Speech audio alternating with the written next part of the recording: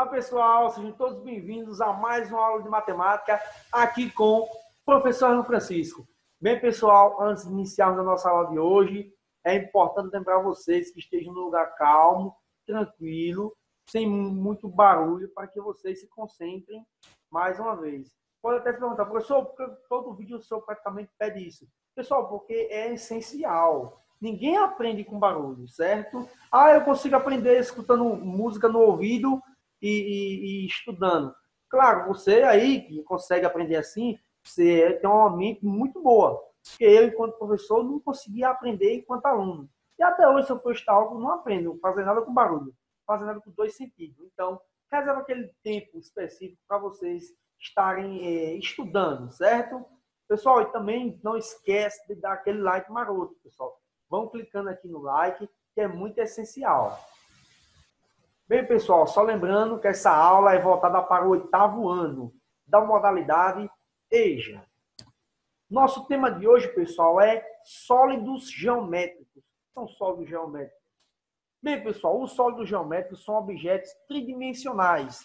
Pessoal, o que é isso? Um objeto tridimensional. Pessoal, simples, objeto tridimensional é um objeto que possui largura, comprimento e altura. Ah, só isso?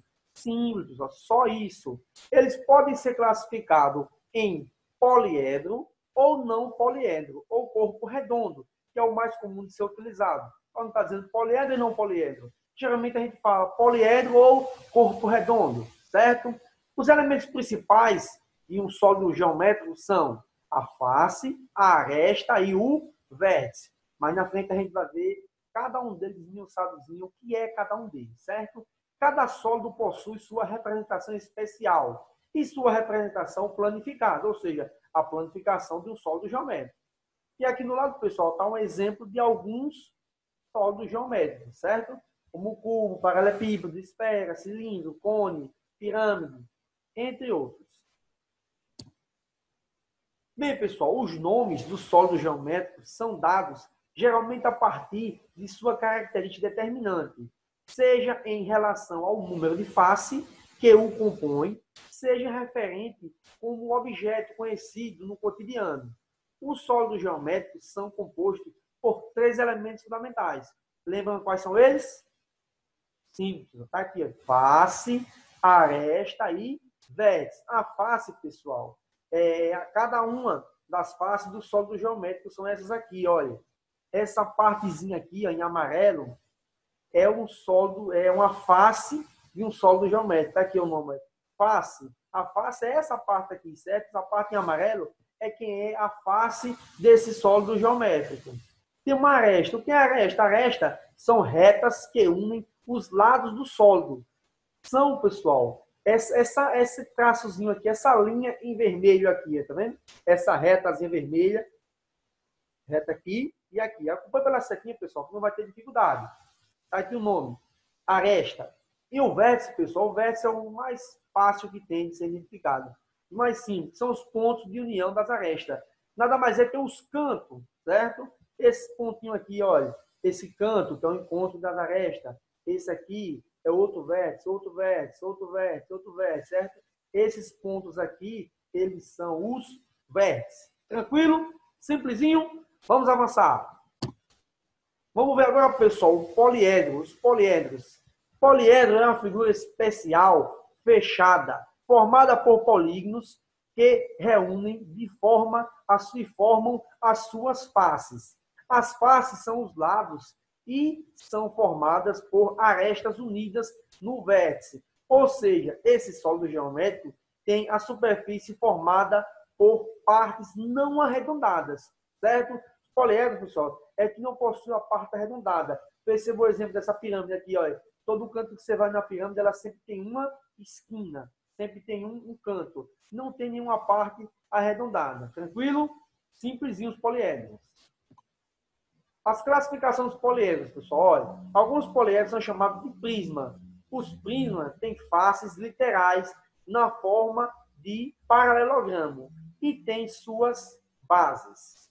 Aqui dá o primeiro, pessoal, olha, paralelepípedo, temos o cubo, tem o prisma de base triangular, temos o prisma hexagonal. que é isso, professor? Prisma hexagonal. Hexagonal, pessoal, lembra aquele do Brasil, vai ser hexa, porque o Brasil tem cinco títulos. Ganhar mais um integra seis títulos. Aí vamos ser hexacampeão. Ah, professor, hexa está associado a seis, né?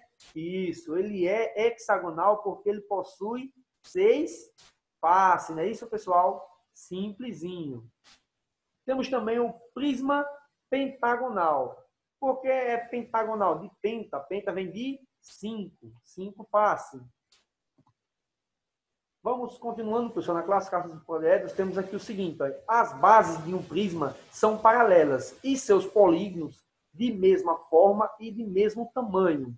Sem, é, se, pessoal, a gente puséssemos, pudéssemos recortar os polígonos da base e sobrepor um ao outro, os polígonos iriam se coincidir, certo? Dois polígonos que têm essa característica são chamados de congruentes, ou seja, vão ser é, coincidentes. Então, podemos dizer que cada um prisma tem duas bases congruentes e uma paralela, certo?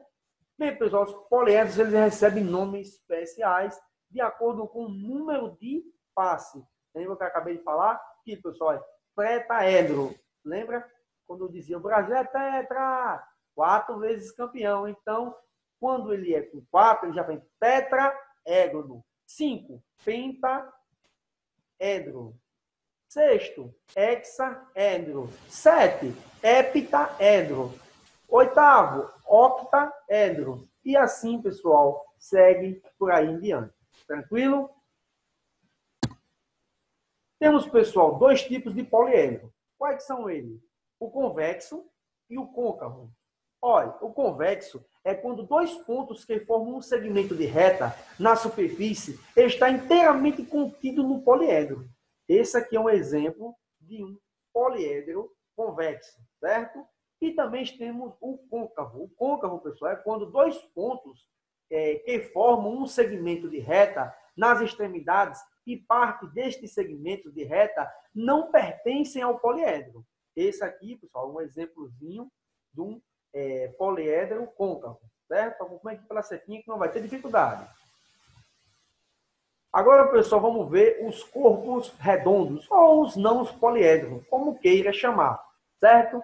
No campo da geometria, chama-se corpo, corpo redondo ao elemento que possui três dimensões, altura, largura e comprimento. De acordo com suas características, é possível distinguir entre eles diferentes tipos de corpos redondos. Ou seja, a sua superfície desses é, sólidos geométricos tem que ter pelo menos uma parte arredondada, uma parte com uma forma arredondada. Professor, como seria isso? Simples, pessoal. Olha, primeiro exemplo aqui, na figura ao lado, temos uma esfera. Observe que ela é toda arredondada.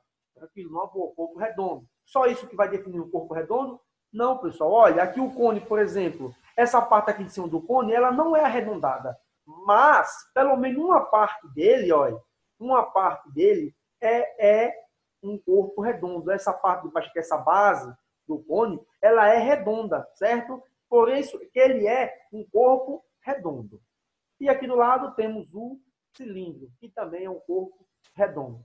Simplesinho, redondo em cima e redondo também embaixo, sem dificuldades.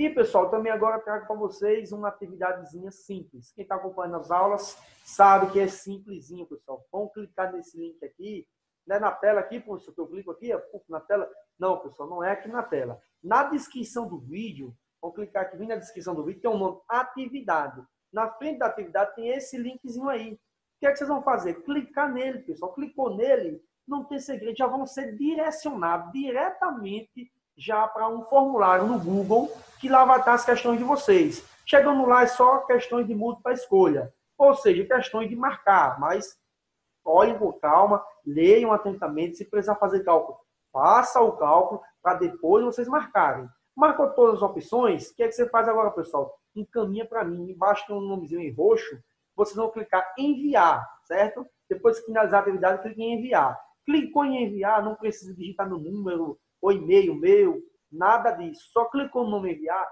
eu já vou receber automaticamente esse feedback de vocês. Automaticamente já chego aqui no meu computador, quando eu abro, já olho a resposta de vocês. Simplesinho, tranquilo. Só para acompanhar esse desenvolvimento de vocês, saber se vocês estão tendo dificuldade em resolver atividades, se não estão tendo, estão acompanhando, somente para ficar algo mais. Um feedback, certo? Saber como é que vocês estão. Também, pessoal, para apimentar a nossa aula, trago esse desafio, que foi passado na OBMEP 2006, na primeira fase. Veja o seguinte, ó, Paulo usou quatro peças diferentes dentre as cinco acima para montar a figura indicada. Ou seja, dessas cinco figuras aqui, ele usou quatro para montar essa figura aqui. Ó. Pegou quatro peças dessas aqui e montou essa figura aqui. Até aí tudo bem. Agora ele diz o seguinte: em qual das peças está o quadradinho marcado com a letra X? Esse quadradinho aqui vai estar em qual peça? Pegue essas peças aqui, quatro delas, pessoal, e tente montar essa figura aqui. Quando vocês montarem essa figura, identifique é, qual dessas peças aqui que ficou o quadradinho X. Esse desafio aí dá para estigar bem, hein, pessoal? Dá para pensar e dizer, eu vou resolver esse desafio agora. Eu também sei que vocês são desafiadores. Bem, pessoal, para finalizar nossa aula, eu trago essa reflexão de Max Weber. Max Weber ele nos diz o seguinte: olha, o homem não teria alcançado o impossível se, repetidas vezes, não tivesse tentado o impossível. Ou seja, para se chegar lá, tem que tentar, certo? Quem chegou até aqui, pessoal, mais uma vez, não esquece de dar aquele joinha, pessoal. Dá o like, é muito importante. Se possível, se inscreva no canal, ative o sininho de notificação, é muito importante. Bem, pessoal, tchau e até a próxima aula.